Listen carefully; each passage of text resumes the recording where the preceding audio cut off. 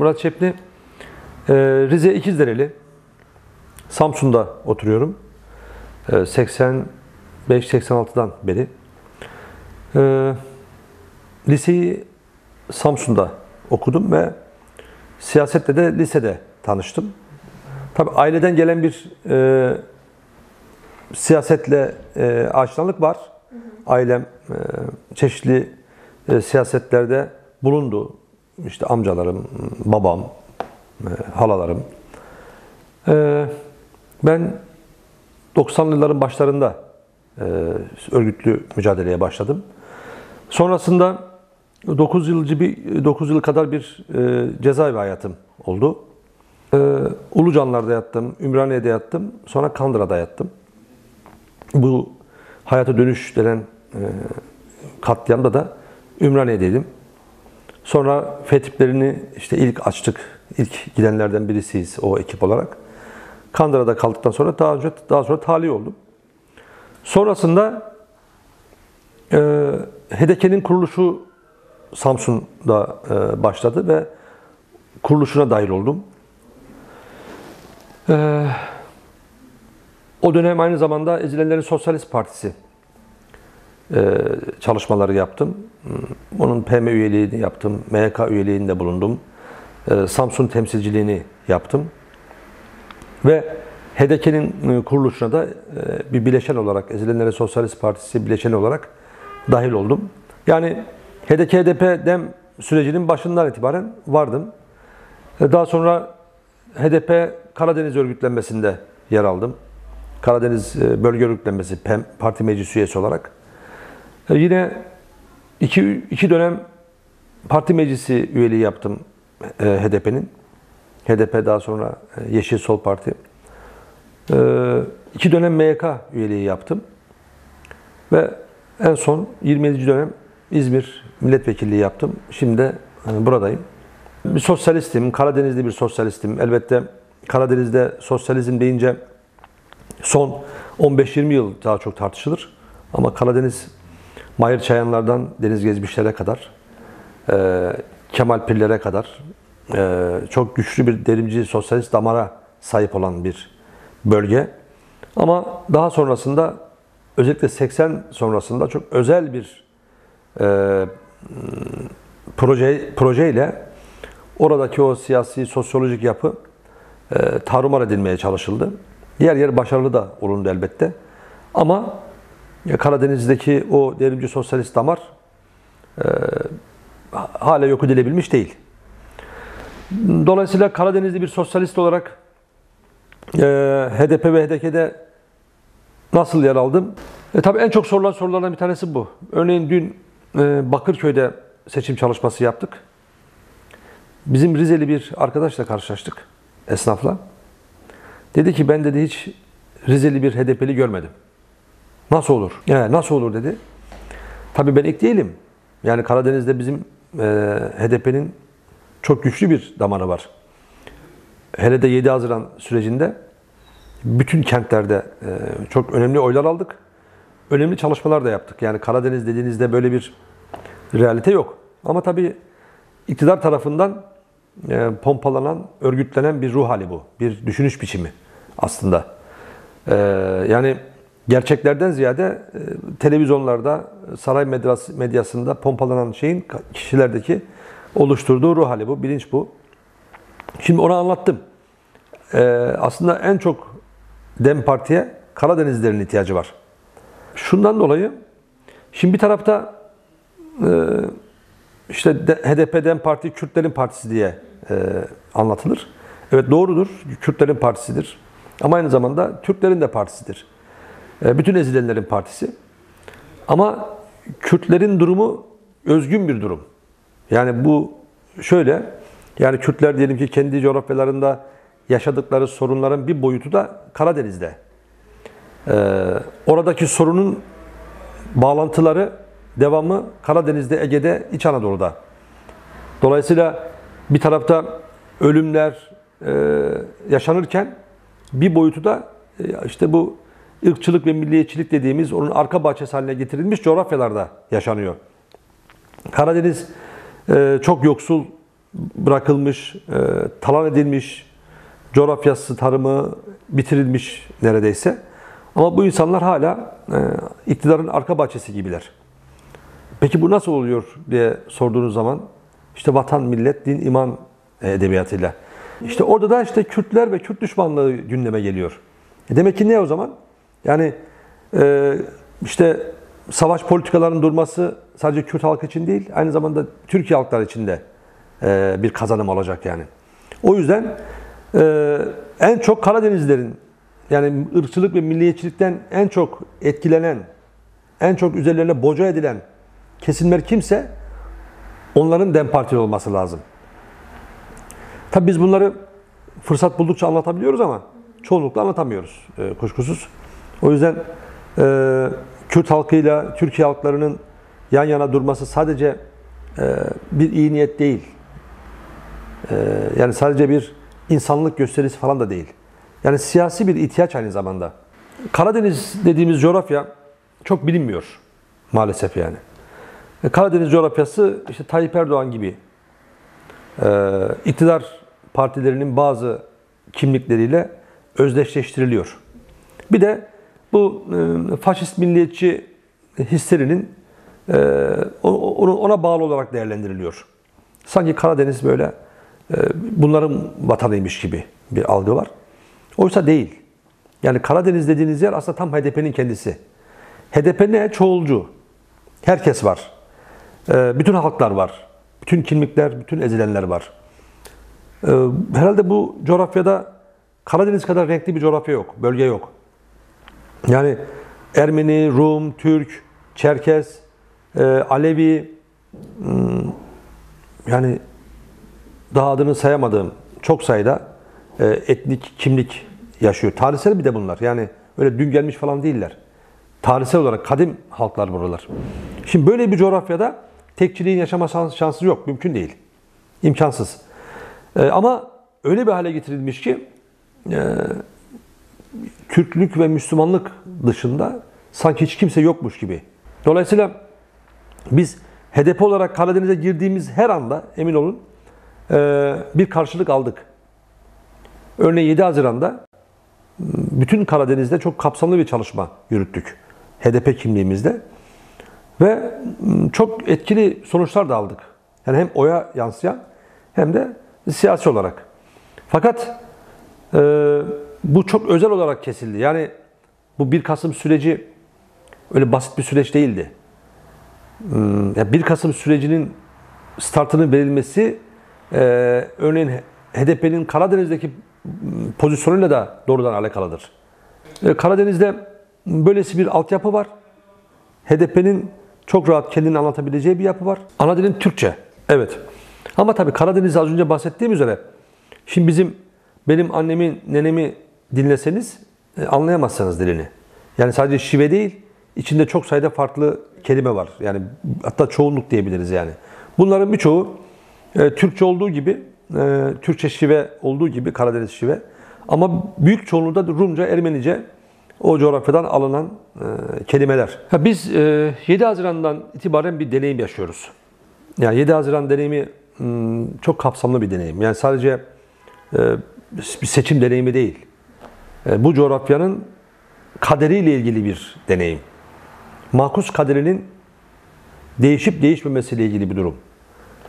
Ee, ve biz bizim açımızdan yani Dem Parti HDP e, siyasetinin e, fikriyatı dediğimiz e, siyasetin ya bunun e, önemini yalnızca seçimlerdeki oy oranıyla açıklamak mümkün değil ya da tek başına Kürt halkının e, örgütlü gücüyle açıklanamaz.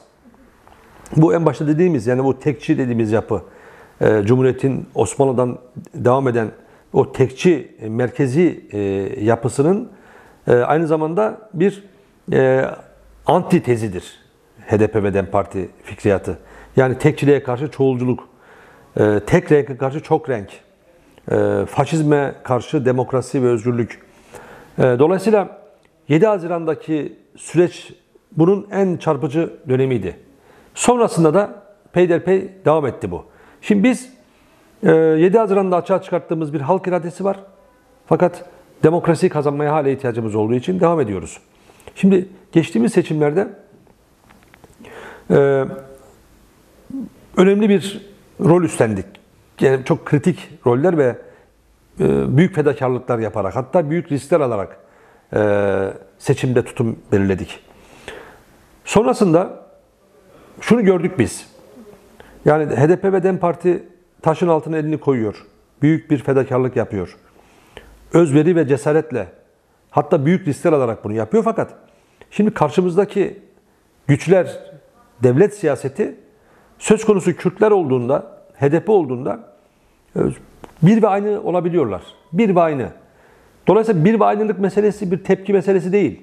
Yani demokrasi yok bu bir ve aynılıkta. Yani Burcu Köksal'ın yaptığı şey e, belki e, ayrıca konuşmak lazım ama o, o, illa da onu örnek vermeye gerek yok. Yani ona gelmeden de bu böyleydi zaten. Yani Burcu Köksal bir sonuçtur. Yani Burcu, Burcu Köksal gibi çok var. Çok var yani. Ee, yani ilk akla gelen Bolu Belediye Başkanı ve o oluyor ama onun gibi çok var. Biz biz bir siyasetten bahsediyoruz esasen. Yani bazen Burcu Giller'in e, yaptığı açıklamalara bakarak biz tutumumuzu belirledik gibi e, anlıyor arkadaşlarımız, halkımız. Böyle bir şey yok. E, o yüzden biz şimdi yani geçtiğimiz seçimleri değerlendirdik. Yani demokrasi konusunda ne kazandık? Özgürlükler ne kadar gelişti? Siyaset ne kadar özgürleşti? Bütün bunları değerlendirdik ve şimdi bu yerel seçimlerde başka bir strateji belirlemiş bulunuyoruz.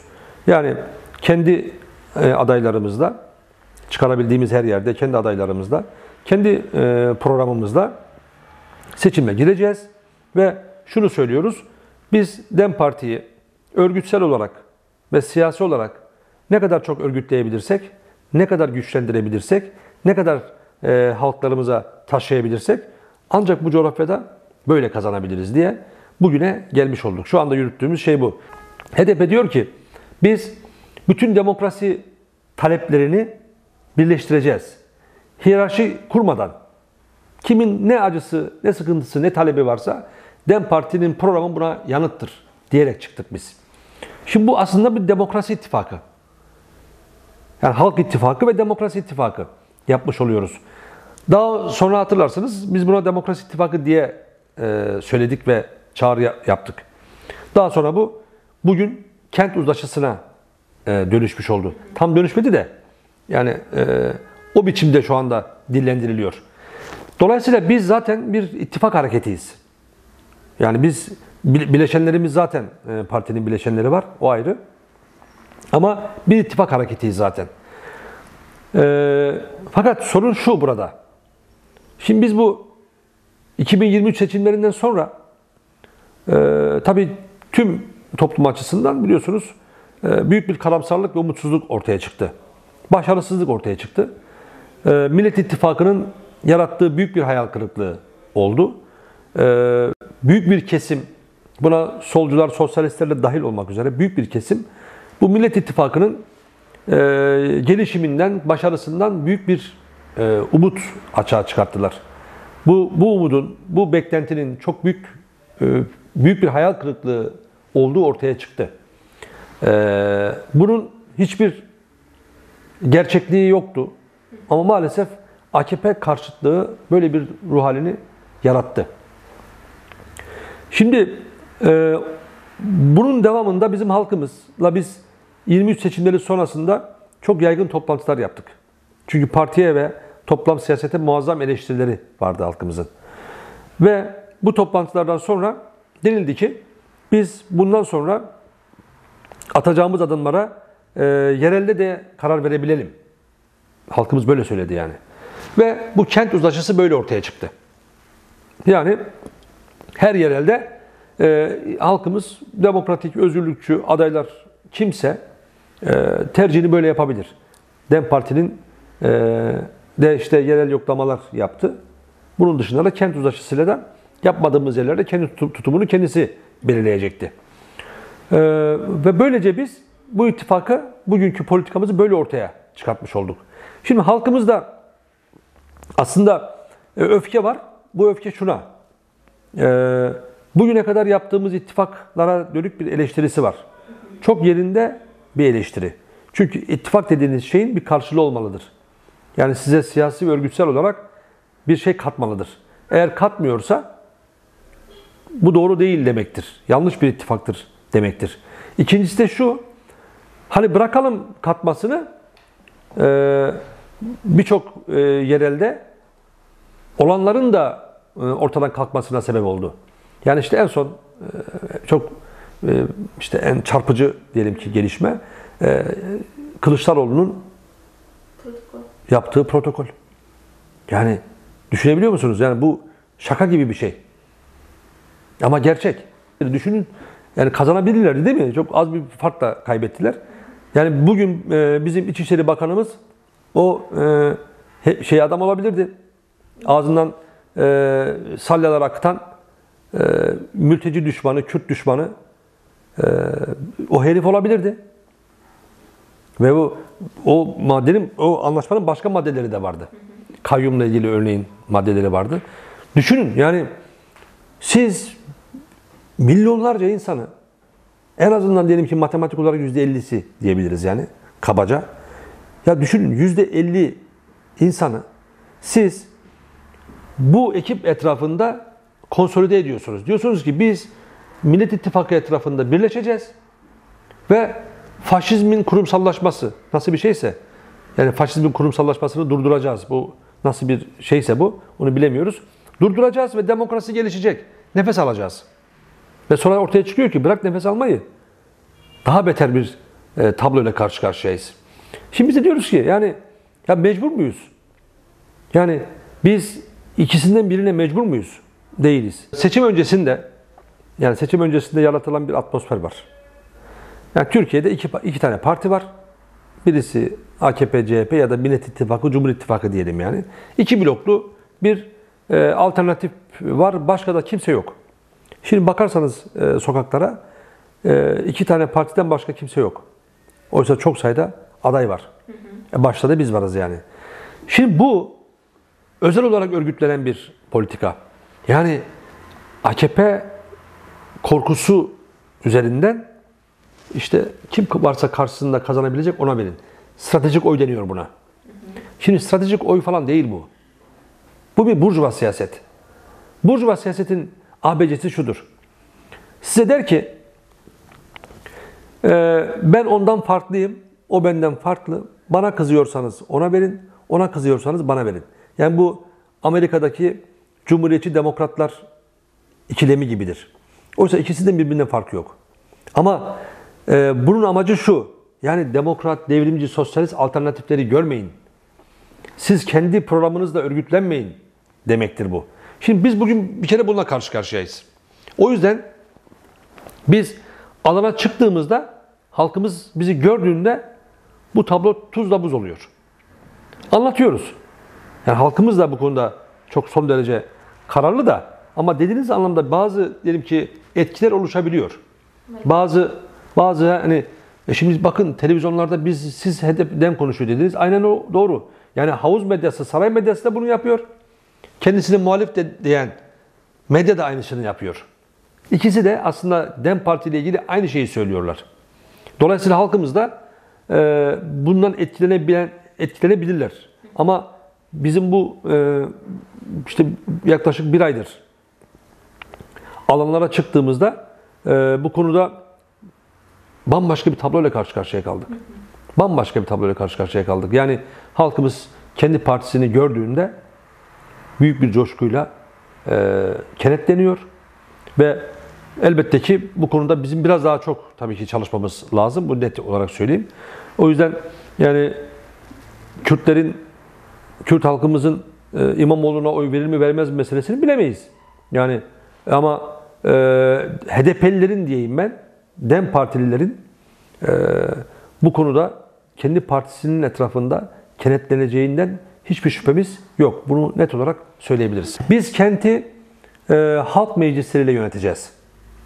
Yani e, halkçılığımız bizim buradan geliyor. Yani o, önemli bir şey bu. E, şimdi herkes aynı şeyi söyleyebilir. E, fakat mesele belediye başkanlığının e, iyi niyetine bırakılamayacak kadar ciddi bir mesele. Şimdi ben herkesi seviyorum, halkımı seviyorum. İyi de ben sana güvenmek zorunda değilim. Bunun mekanizmasını kurmanız gerekir. İşte o da meclislerdir. Yani bizim meclislerimizde yani e, hem belediye meclisleri hem mahalle meclisleri buralarda halkımız örgütlenecekler. Ve halkımızın buradan çıkarttığı kararlar belediyenin yönetiminde esas alınacaktır. E, dolayısıyla halkımızla beraber yöneteceğiz. Şimdi biz şöyle düşünün. İstanbul'da kentsel dönüşüm adı altında rantsal dönüşümler gerçekleştirildi. Şimdi biz diyoruz ki insanlar yaşadıkları yerden sürülmesinler. Yerinde dönüşüm olsun. Ve insanlar onlarca yıl borçlandırılmasınlar. Ve bulundukları yerinde ne olacağına kendileri karar versinler. Şimdi biz buna ne diyoruz? Yerinden yönetim diyoruz. Özellik. Demokratik özellik. Şimdi bu dediğimizde herkes böyle bir böyle bir zıplıyor değil mi? Vay Kürtler demokratik özellik istiyor, bizi bölecekler. Bölücüler. Oysa e, işte bak aynı şey burada da geçerli. Yani şimdi İstanbul'un e, bir mahallesinde bir yeşillik var. Geçen mesela e, Acıbadem'de vardı. Şimdi insanlar ayaktalar orada. Diyorlar ki ya bizim bir tane yeşil alanımız kalmış. Bunu da e, hastanenin otoparkına e, veriyorsunuz. Şimdi bize diyoruz ki ya buranın ne olacağına bu halk karar versin. İşte özetlik bu. Aynı şey işte deresine sahip çıkan, e, suyuna sahip çıkanlar için de geçerli. Biz böyle yöneteceğiz İstanbul'u. Ee, Naci Görün hocamızla çok verimli bir toplantı yaptık, görüşme yaptık. yaptık. Ee, sağ olsun e, kabul etti. Onunla depreme hazırlık meselesini konuştuk. Yani deprem olduktan sonra neler yapacağımızı konuşmadık. Bunun hiçbir karşılığı yok. Hiçbir gerçekliği de yok. Yani deprem meselesi bir hazırlık meselesidir. Deprem öldürmüyor sonuçta. Bu rantçı, bu e, bu, bu hmm, halk düşmanı siyaset öldürüyor. Depremin öldürmediğini biliyoruz. Dolayısıyla hocamız da bize ayrıntılı bir biçimde şunu anlattı. Dedi ki, bir, depreme hazırlık bu, bu coğrafya açısından olmazsa olmazdır. Burada atılan her adım, her konuda her adım deprem gerçeğini dikkat alarak olmak zorundadır. Bunun bütçesi depreme göre hazırlanmalıdır. Ee, bunun bilimsel fizibilite çalışmaları, araştırmaları, incelemeleri yani yeraltının e, bütün boyutlarıyla e, bilimsel olarak incelenmesinden başlayalım da bunun yavaş yavaş yukarı doğru çıkarak kentin kurulmasına varıncaya kadar. Yani bunun çok kapsamlı bir biçimde ele alınması gerektiğini e, söyledi. Zaten bizim de e, deklarasyonumuzda aslında temel perspektifimiz buydu. Hazırlık meselesi. Dolayısıyla bu görüşmeden epeyce bir bilgilendik. Ama maalesef maalesef şöyle bir durum var. Bunun bütçesini kuramadığınızda yani bu dönüşümün bütçesini kuramadığınızda yoksul halkımızın deprem hazırlanması çok mümkün değil. Yani o yeni bir eve, eve geçemez. Yeni geçtiği evin e, satın alamaz, kirasını veremez, aidatını veremez. Dolayısıyla bunun bütçesini hazırlamak lazım. O da işte neyle mümkün? Dem Parti ile mümkün. Bazı solcularımız HDP'yi sınıf mücadelesinin tümden dışında tutuyor ve biz sınıf mücadelesini temsil ediyoruz. Ee, ve siz de başka bir e, ulusal bir mücadele yürütüyorsunuz diye e, biliyorsunuz çok yaygın bir tartışma var. Hatta HDP ile yan yana gelmenin de sınıf mücadelesini, sınıf mücadelesi yürüttüğünü söyleyen partilerin gelişimini engellediğini de e, söyleyen epeyce bir kesim var. Tabi bunlar e, çok hatalı yaklaşımlar, çok yanlış yaklaşımlar, e, çok talihsiz yaklaşımlar ve kimse de bir şey katmıyor aslında. Söyleyenlere de bir şey katmıyor. Sadece Kürt halkının e, biraz böyle e, zorlu mücadelesi, biraz böyle e, bedel ödemeyi öngören mücadelesinden uzak durmanın teorileri bunlar. Yani devlette çok karşı karşıya gelmeden, devletin çok sinir uçlarına dokunmadan, bu coğrafyanın bazı yapısal sorunlarına değinmeden böyle enstitü solculuğu yapma eğilimleri bunlar. Onların sonuçları. E, o yüzden biz bunları esasdan tabii tartışıp eleştiriyoruz. Yok sayıyoruz yani. E, yer yer uyarmaya da çalışıyoruz ama herkesin tabii ki bileceği, e, yapacağını kendisi bilir. Şimdi HDP bir sınıf partisi aynı zamanda. İşçilerin ve yoksulların partisi. Ee, yani piramit dersek bu piramidin en altındakilerin partisiyiz biz. Bu bizim her yerimizde var. Her şeyimizde görülebilir. Her şeyimizde yani. Örgütlü bulunduğumuz alanlardan tutalım da bize oy veren seçmenlerin e, yapısına varıncaya kadar. Şimdi bu birincisi bu. E, ikincisi de şu. Şimdi biz diyoruz ki e, bu coğrafyada yoksullar neyle zehirleniyorlar? ırkçılık ve şövenizmle zehirleniyorlar. Şimdi bu nereden besleniyor? Kürt düşmanlığından besleniyor. Şimdi demokrasi ve sosyalizm birbiriyle bağlantılı e, kavramlar ve modeller. Şimdi siz demokrasiyi kazanmadan, yani demokrasi şu, e, bir işçi eğer kendisini sömürenlerin devleti yönettiğini, kendisini sömürenlerin onun adına e, savaşlar çıkarttığını ve o çıkarttığı savaşların parasının kendi yövmiyesinden kesildiğini bilmezlerse, savaşı sorgulayamazlarsa kendi patronlarına karşı sendikal mücadelede yürütemezler, parti mücadelesi de yürütemezler. Yani demokrasi kazanılmadan, demokratik bilinç kazanılmadan sosyalizm gelişemez zaten. Bunu Lenin söylüyor. Bunu Marx söylüyor. Şimdi Kürt sorunu konusunda e, eğer bir işçi şunu diyemezse kendi devletine, kendi sermayesini patronuna ya sen benim paramla bu Kürt halkına savaş açmış durumdasın. Bu savaşın bana getirdiği tek şey açlık ve yoksulluk. Diyemediğimiz, dedirtemediğimiz koşullarda o işçi ne der peki onun yerine? Ben aç kalayım, evsiz kalayım ama e, vatanım sağ olsun der. Sanki vatan onun, onunmuş gibi. Yani sermayenin kasasını vatanı zanneden işçi, işçinin demokrasi bilinci gelişmediği koşullarda sosyalizm gelişemez. İşte tam olarak biz bunu anlatmaya çalışıyoruz. Ya o yüzden HDP hem Kürt halkına hem Türkiye halklarına e, hitap ederken işte o birleşikliği inşa etmeye çalışıyor. O yüzden sınıf mücadelesinin bir parçasıyız biz. E, burada hiçbir tereddüt yok. Her boyutuyla sınıf mücadelesinin bir parçasıyız. Ama demokrasi mücadelesi yürütüyoruz. Yani örneğin bizim partimizin programında sosyalizm, sosyalist iktidar yok. Ama demokratik halk iktidarı var. Demokratik halk iktidarı kazanılmadan sosyalizm zaten kazanılamaz. İstanbul devasa bir işçi kenti. Devasa bir işçi kenti ve e, işçi cinayetlerinin en yaygın yaşandığı kentlerden bir tanesi. E, işçiler burada kölece yaşıyorlar. Yani niye? Diyelim ki ulaşım koşullarından kaynaklı. Ulaşım koşullarından kaynaklı e, sabahın köründe kalkıp işe gitmek zorundalar. Geç saatte eve gelmek zorundalar. Yani diyelim ki örnek diyelim e, başka bir Anadolu kentinde olsalar e, kendilerine daha fazla belki zaman ayırabilirler ama bu kentte bildiğiniz robot gibi e, çalıştırılıyorlar. Bu bu nedir? Bu aynı zamanda bir e, buranın e, işte emek kenti ve sömürü kenti arasındaki çelişki. Şimdi e, işçiler burada güvencesizler çok büyük bir güven, güvencesizlik var. Yani sendikasızlaştırma saldırısıyla bağlantılı olarak güvencesizlik var. Ee, burada e, Türkiye'nin en büyük finans kenti burası. Yani kendileri de aynı şeyi söylüyorlar. Ama bu finans kentinde işçi sınıfı tümüyle ücretli köle biçiminde e, çalıştırılıyor.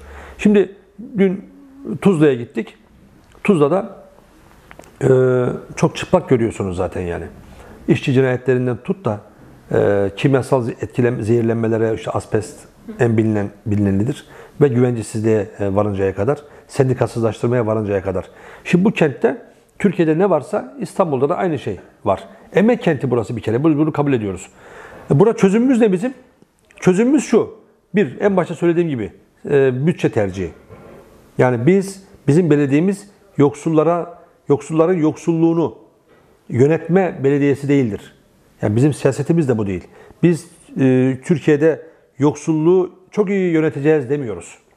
Yani şu şöyle oluyor. Örneğin AKP diyor ki ben işte 10 lira verdim diyor. işte öbürü diyor ki ben 15 lira vereceğim diyor. Ben 3 kişiye verdim. O diyor ki ben 5 kişiye vereceğim. O diyor ki ben 20 lira e, indirim yapacağım. O diyor ben 50 lira indirim yapacağım. Bunların bakın hepsi yoksulluğu yönetme işi. Oysa biz diyoruz ki biz bizim iktidarımızda, yerel ve merkezi iktidarımızda yoksulluğun olmadığı bir ülke yaratacağız. Bizim farkımız bu. Dolayısıyla işçi sınıfının bir e, kendi e, örgü- örgütlülüğünün önünü açacağız. Öyle devlet sendikalarında değil bir de yani. Devlet ve belediye sendikaları var bir de biliyorsunuz. E, eskiden sarı sendikalar vardı. Şimdi onu da geçtik. Devlet ve e, devletlerin, devletin ve belediyenin kendi sendikaları var. Bunlar sendika falan değil zaten yani. Bunlar başka bir şey. Şirketin başka bir bürosu yani bunlar.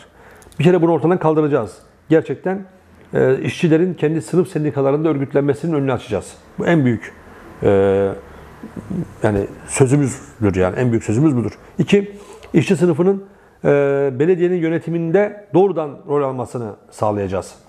Doğrudan bir işçi denetimi burada e, sağlayacağız. En büyük şey, ben örneğin bütçenin nereye harcanacağı konusunda işçi sınıfının, sendikaların doğrudan katılımı olmuş olacak. Şimdi biz de halkımıza bunu şunu diyoruz. Halkımız yani e, ey halkımız yani e, size kurban olalım biz. Tamam ama? Ya işte dertleriniz bu sizin. Yani derdin özgürlük. Sana özgürlük veren var mı? Sen yoksul ve açlıkla e, ayakta kalmaya çalışıyorsun. Sen aç ve yoklukla mü- mücadele ederken e, bu ülkede şirketler dünya ortalamasının üzerinde yüzde 300-500 kar ettiler. Ortada bir kriz e, var ama bu kriz aslında yoksullaşma krizidir. Senin yoksulluğunu gideren bir parti var mı? Yok bizim dışımızda. Kadın arkadaşlarımıza aynı çağrıyı yapıyoruz. Bugün de 8 Mart. Ee, gençler için aynı şeyi söylüyoruz. Yani derdiniz ne? Çözümü ne? Bu soruya cevabınızı verin. Dem Parti mi, başka partiler mi diye kararı size bırakıyoruz diyoruz. Bu kadar basit. Yani onun dışında e, başka bir belirleyen yok. Yani sizi kandırmalarına izin vermeyin diyoruz. Yani ölümü gösterip bayıltmaya razı olmak bir kader değil. Bizim kendi yolumuz var. Üçüncü yol diyoruz. Kendi yolumuz var. Pekala başarabiliriz. O yüzden diyoruz yani DEM Parti sizin partiniz, sizin iradenizdir. Başarabiliriz, kazanabiliriz. Ee, başkalarına mecbur değiliz. Ee, o yüzden DEM Parti etrafında hem ım, seçimlerde hem de tüm süreçte kenetlerin çağrısı yapıyoruz.